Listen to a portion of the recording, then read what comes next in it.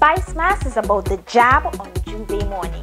It's about the pulsating energy of Fantastic Friday. We know you buy the costume months ago. We know you plan to go all the fetes. For all the shows that build the hype leading up to Carnival Monday and Tuesday. Pan and Calypso, here we come. Spice Mas is that one time of the year when you just free up yourself and have a good time. But you have to be safe. Drink water and stay hydrated. Things might get heated, so remember, practice safe sex, use your condom. If you're driving, don't drink.